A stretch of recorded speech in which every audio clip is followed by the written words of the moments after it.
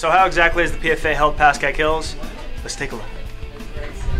The PFA gave us lots of cool new stuff, like these banners up here.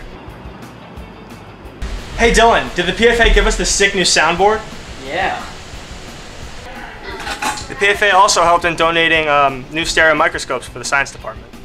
And the PFA donated these art boards to us. The PFA helped rebuild the gazebo after storm damage. They also contributed to the Hills Garden. And finally, the PFA helped give us these water refilling stations. Like, like. These, among other things, were all donated by the PFA, so a big thank you goes out to them.